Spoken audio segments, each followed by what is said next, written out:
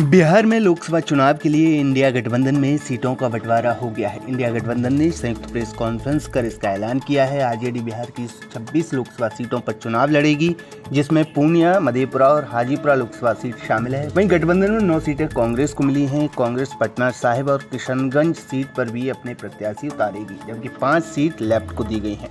Khagaria, CPI, Begusarai, CPI, ML Arrah Karakat Nalanda. Indian National Congress assembly election अब यहाँ assembly by election उनका था या सिर्फ़ भी वो लड़ेंगे Indian National Congress Kishanganj Katihar Bhagalpur Muzaffarpur Samastipur west Champaran Patna Sahib Sasaram Maharajganj Rashtriya Janata Dal.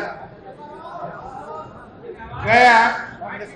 नहीं नहीं छोड़ दीजिए। चलिए आप पढ़िए राष्ट्रीय राष्ट्रीय जनता दल गया नवादा जहानाबाद औरंगाबाद बक्सर पाटलिपुत्र मुंगेर जमुई बांका वाल्मीकि नगर पूर्वी चंपारण, शिवहर, सीतामढ़ी, वैशाली, सारण, सीवान, गोपालगंज, उजियारपुर, दरभंगा, मधुबनी, झंझारपुर, सुपौल, मधेपुरा, पूर्णिया, अररिया, हाजीपुर।